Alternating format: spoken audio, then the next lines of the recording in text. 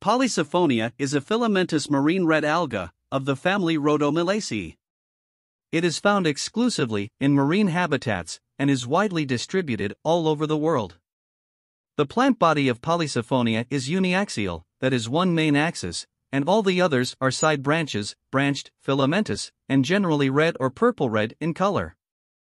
The filaments are profusely branched and consist of numerous siphon like cells, arranged in definite tiers.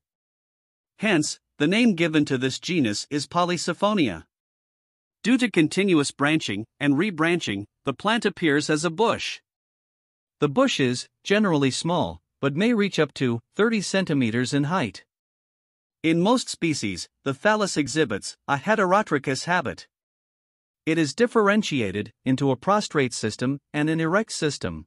The prostrate system is basal and creeps over the substratum. In many Polysiphonia species, for example, Polysiphonia nigrescens, Polysiphonia urceolata, it may be multiaxial and well developed.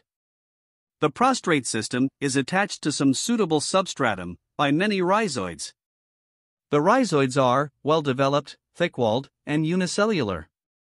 They are much lobed at the apex and form definite attachment discs.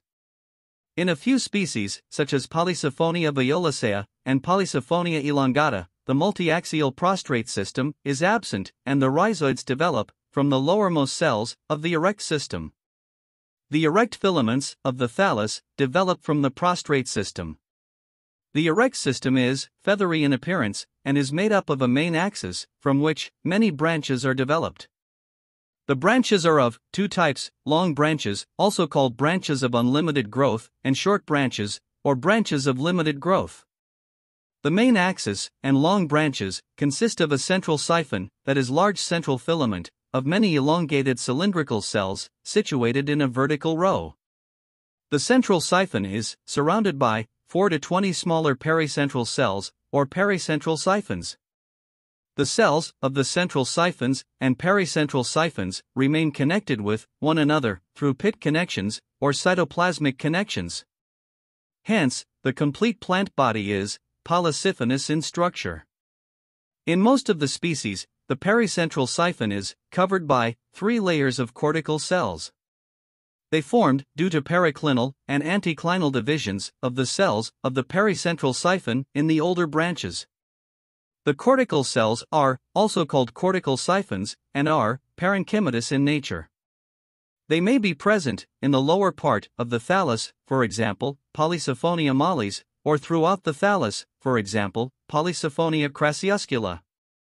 The branches of Polysiphonia are lateral and monopodial.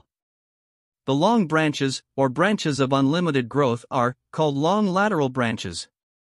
While the short branches, that is, branches of limited growth are called trichoblasts. The trichoblasts are uniaxial or monosiphonous in structure and lack pericentral siphons. They are spirally arranged, dichotomously branched, and fine hair like. Due to the absence of chromatophores, trichoblasts are colorless. The trichoblasts arise on both the main axis and long branches. The short branches are deciduous. Hence, perennial species shed these branches before winter and develop again in the spring.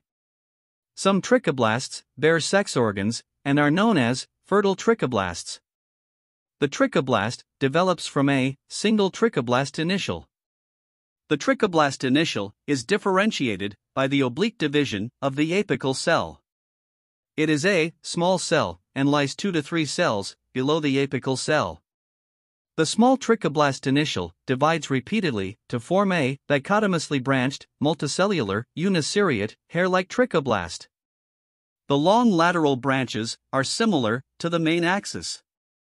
They are polysiphonous, that is multiaxial, at the base, and monosiphonous in the distal parts. The long branches develop in radial or spiral symmetry. The long branches arise from the basal cells of the short branches. In species like Polysiphonia violacea, they occur as outgrowth from trichoblast initials. The long branches develop along with trichoblasts, and after a few divisions, the trichoblasts are pushed aside. So, the branches appear to arise from trichoblasts dichotomously.